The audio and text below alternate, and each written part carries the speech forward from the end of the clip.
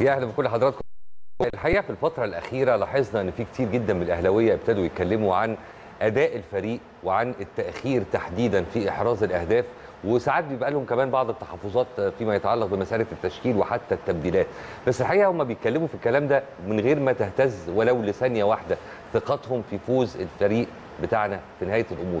لكن برضو أكيد ما ننكرش إن ما بين قلق التأخر في الفوز والثقة فيه في عوامل كتير. العوامل دي تحديدا هي اللي هنتكلم فيها النهارده ومن خلال هذه الفقرة بالتحديد مع زميلنا وصديقنا الأستاذ خالد الاتربي رئيس القسم الرياضي بجريدة الشروق. صباح الفل عليك ومنور الدنيا. صباح الفل يا كريم. ده نوركم صباح الفل يا نهاد نوركم ودايما منورين الدنيا. صباح الخير عليك يا أستاذ خالد. وإحنا سعداء إنك معانا لأن إحنا متأكدين هنلاقي إجابات عن يعني ملفات شائكة.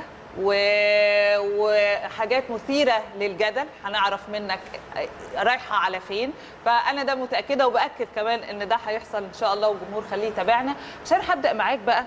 بنرجع كده للمباراة الأخيرة والأهلي والمقاولون العرب واللي حصل في الماتش كان غريب لو صح التعبير. إحنا خسرنا في الشوط الأول جولين والشوط الثاني قلب الموازين بس لحد دلوقتي إحنا مش فاهمين هو ده ليه حصل أصلا؟ وجهة نظرك بقى إيه الخطأ؟ فين الثغرة؟ إيه اللي حصل بالظبط؟ آه بص خليني أقول لك إن أنا أسعد إن أنا موجود معاكم الأول تمام؟ آه فكرة التأخر في آه الشوط الأول آه أمام آه المقاولين العرب ده كان طبعا مفاجأة للكل.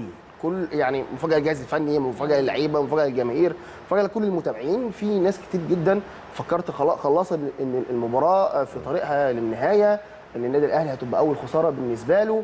إنما كان في هنا نقطة فاصلة. دايما ما تراهنش على خسارة النادي الأهلي. يعني دايما الأهلي كان بيلعب بايرن ميونخ تقريبا في سنة 2011 أو تخون الذاكرة يعني ماتش ودي. فالأهلي قدم مباراة كويسة جدا جدا جدا. وفي النهاية خسرنا. فكان مانو الجوزيه المدير الفني للنادي الأهلي وقتها أنا كنت حاضر الماتش وحاضر المؤتمر الصحفي كان في قطر تقريبا واتكلم قال لك أنت تلعب تلعب تلعب ثم يفوز الألمان. هو ده المثل. أنت برضو هنا في مصر أنت تلعب تلعب تلعب ثم يفوز الأهلي. دي حقيقه دي الروح اللي الموجودة عند النادي الأهلي دي مش شعارات.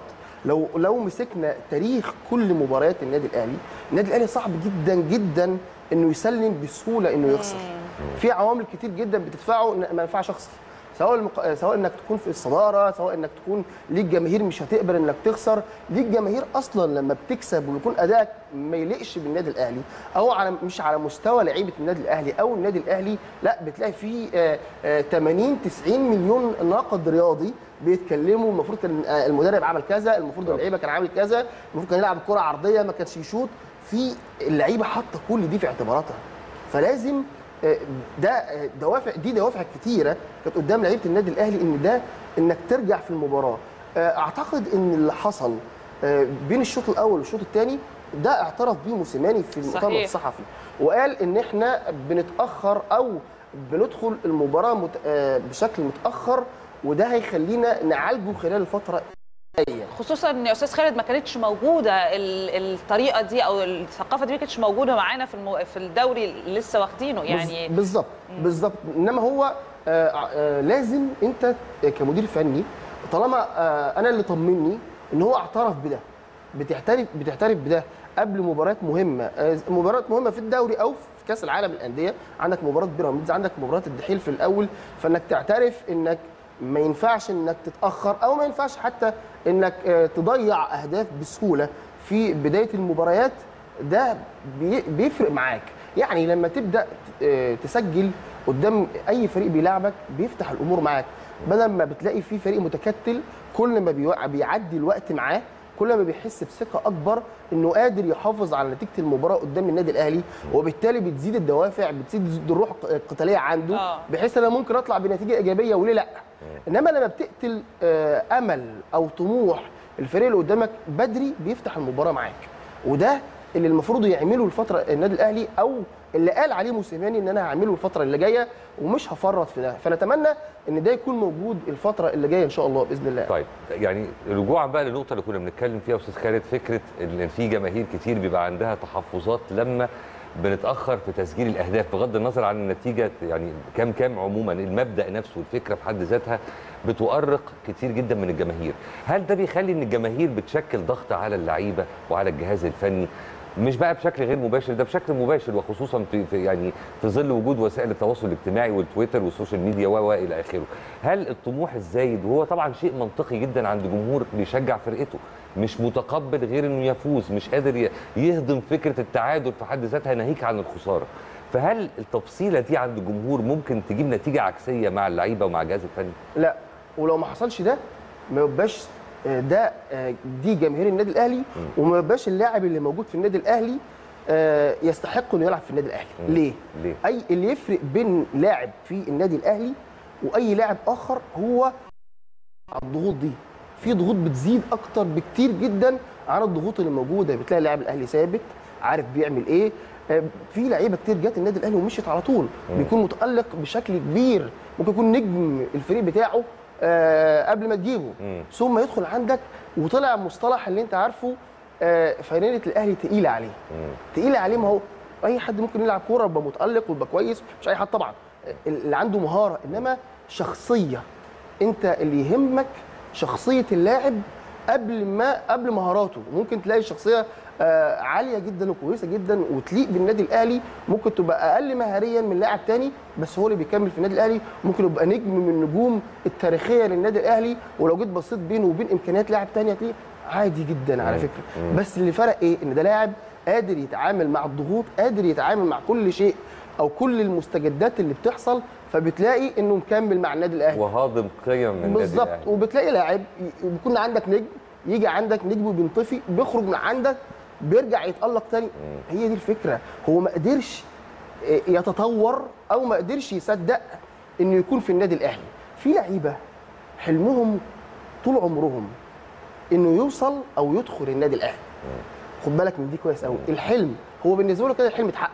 فخلاص مش عايز يجتهد خلاص هو. كده وقف. هو أنا عملت اللي أنا عايزه. إنما في لاعب حلمه بيبدأ من دخول النادي الأهلي.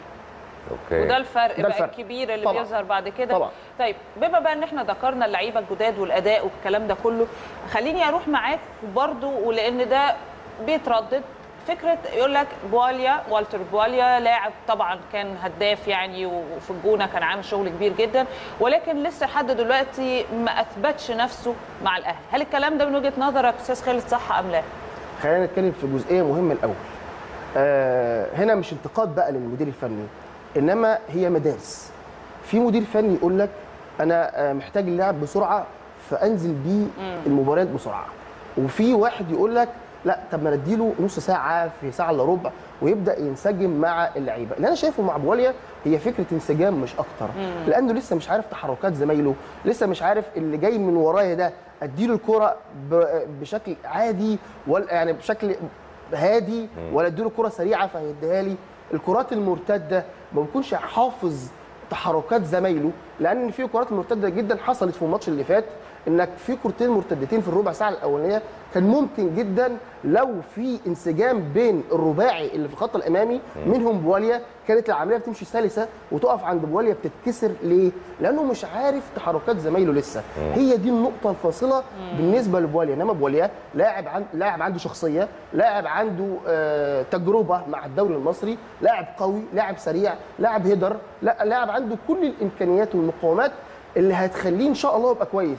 هتقول لي طب أنت لسه قايل إن في شخصية وفي فانيلا تقيلة وفي ماشي بس هو ده اللاعب اللي واضح قدامنا من تحركاته واستلامه وظهوره في الماتش لا عنده. يعني مساله وقت وممارسة. أنا شايف كده.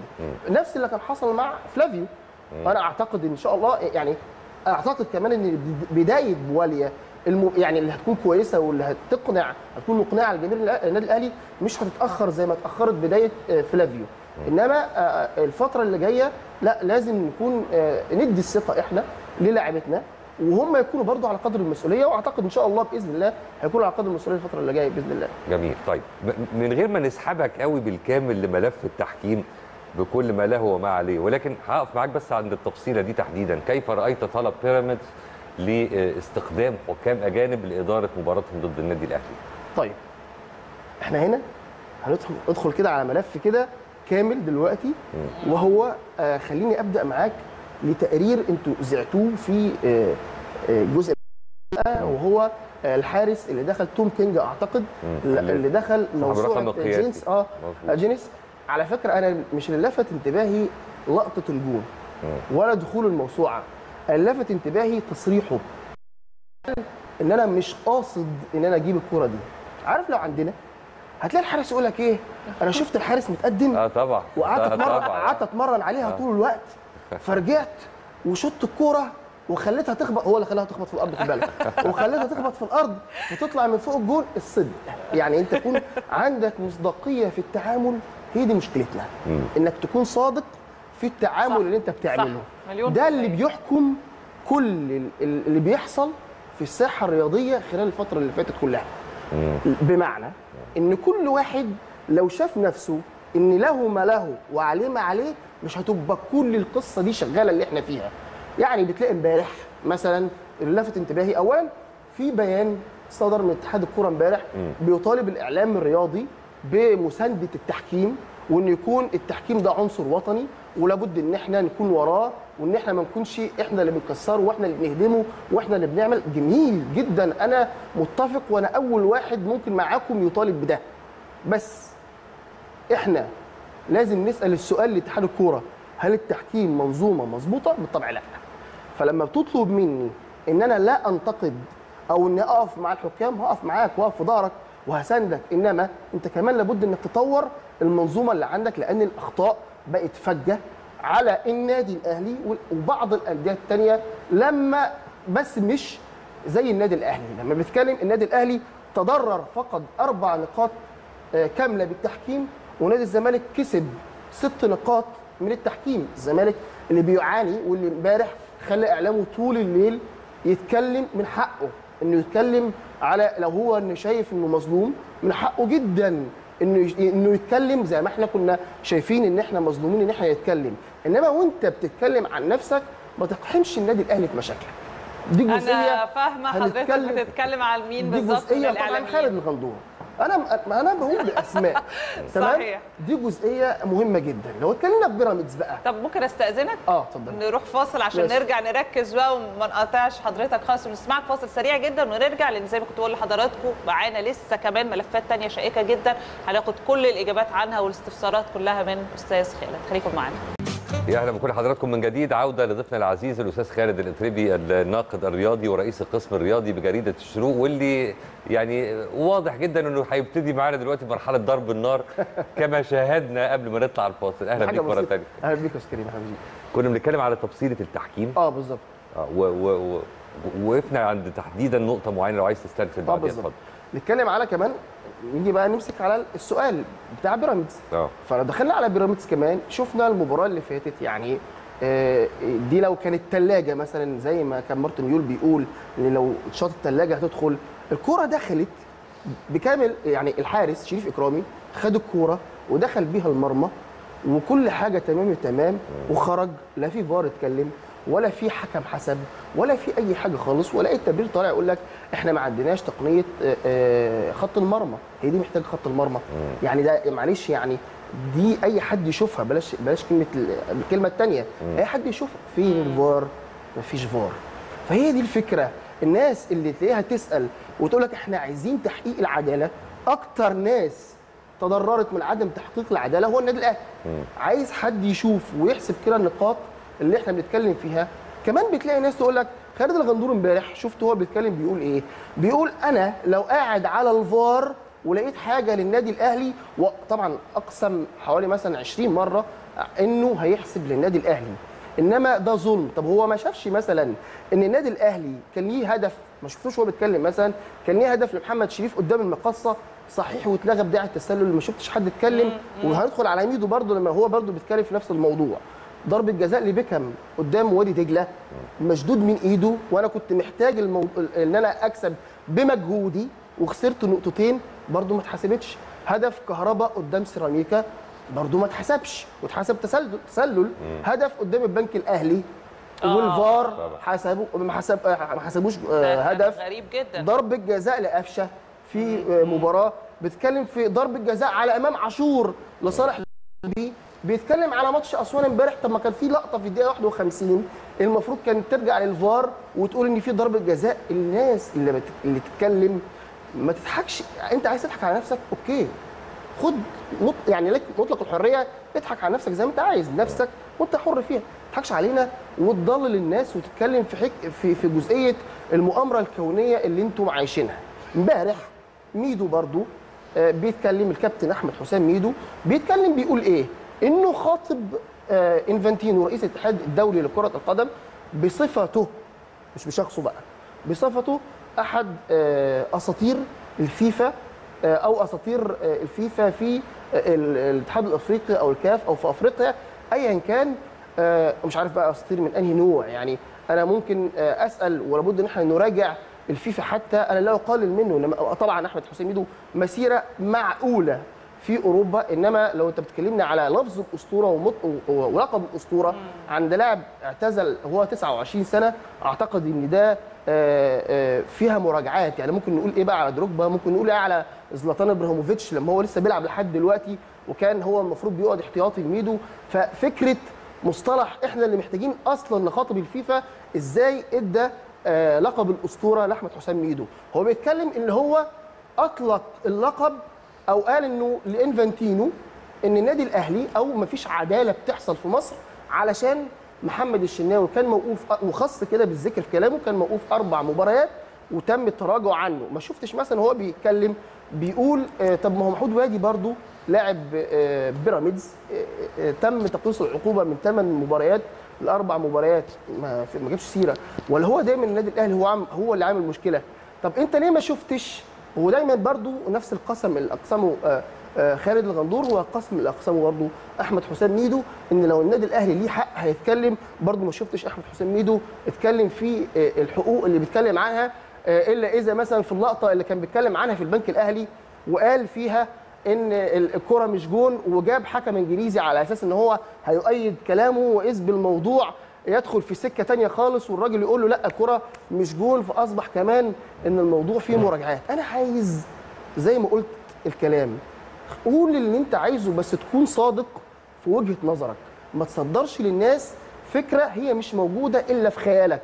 نفس الكلام برضو اتقال من نائب رئيس الزمالك السابق أو الأسبق ايا كان وشايفه بيتكلم على الفيسبوك وعلى ال social media على آه، الجماهير وإن وإن اللي بيحصل هو اللي تسبب في قتل معرفش 72 كلام لابد الناس تتحاسب عليه لأن أنت أنت مسؤول سابق أو حالي لابد إنك تكون عارف إنك بتحرك الجماهير ناحية شيء ما.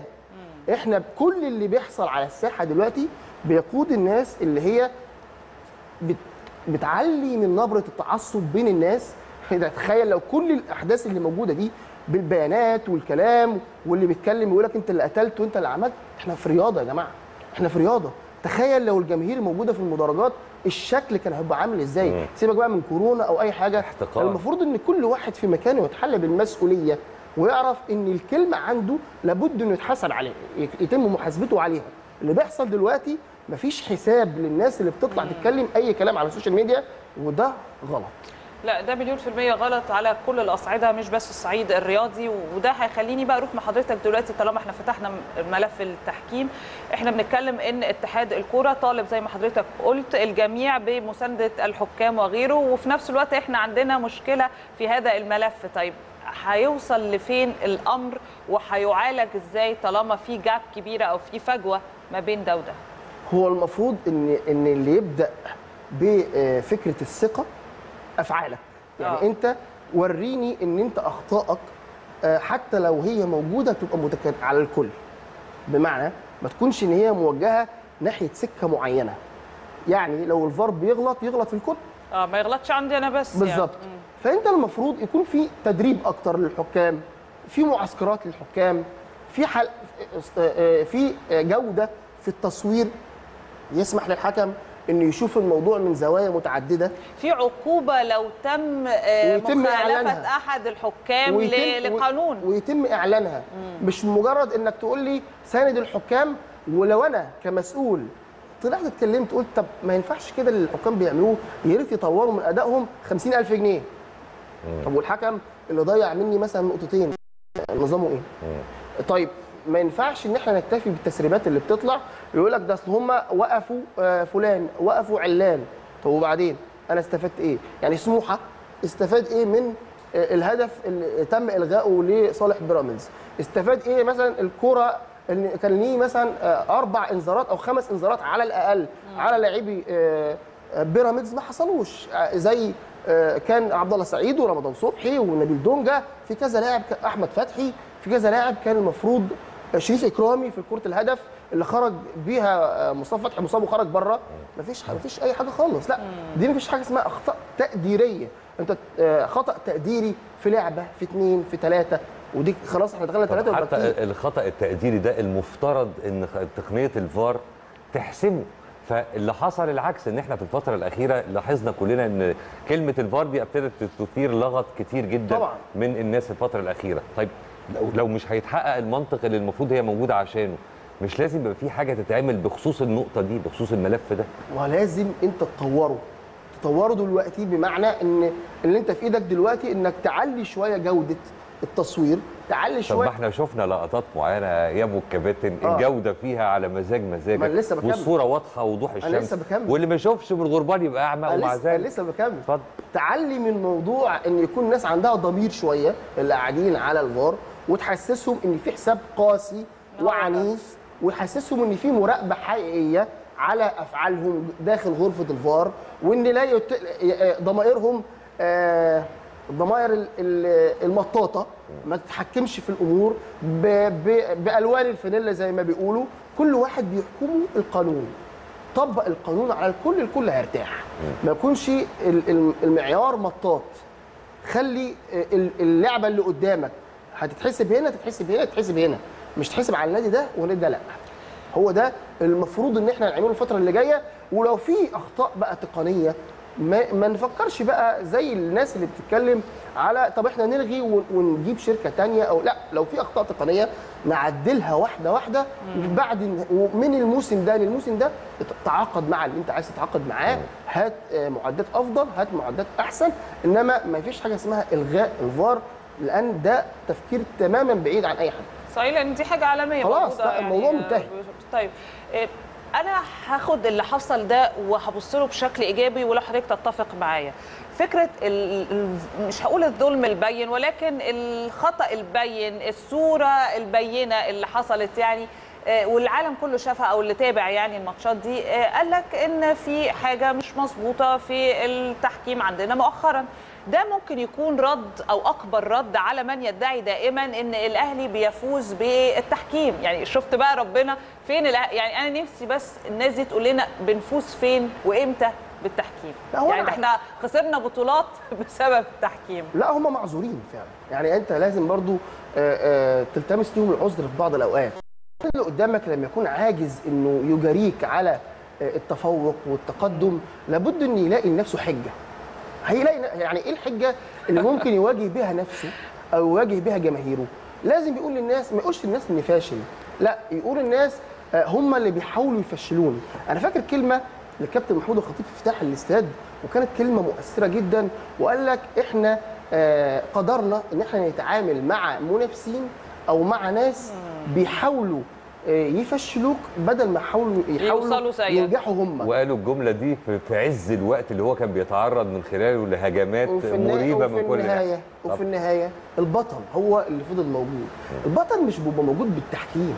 البطل موجود بعناصر كثيرة اللي عايز يتعلم يبص على شكل النادي الأهلي وخطواته على مدار التاريخ ويمشي على الكتاب. على فكرة أنا واحد من الناس كأهلاوي أتمنى أتمنى إن الناس تقلدني.